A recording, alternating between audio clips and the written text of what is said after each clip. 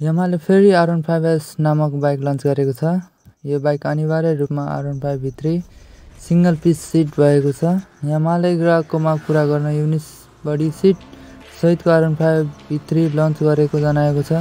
नियमित बाइकमा उचित स्पोर्ट सुपर स्पोर्ट शैलीको स्पिड सिट सेटअप हुन्छ। R one five S BS three नयाँ सिङ्गल पिस सिटको अलावा आर वान फाइभ भर्जन थ्रीसँगै मिल्दोजुल्दो छ।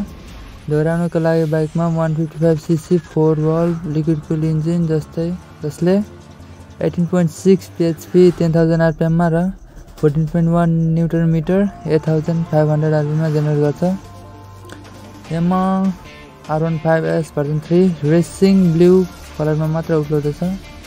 अरू सबै फिचरहरू सेम नै रहनेछ र यो यमा यो नयाँ यमा आर वान फाइभ भित्री मोडलसँगै बिक्री हुनेछ आर वान फाइभ एसको लागत R one five version three जस्तै लगभग रहनेछ।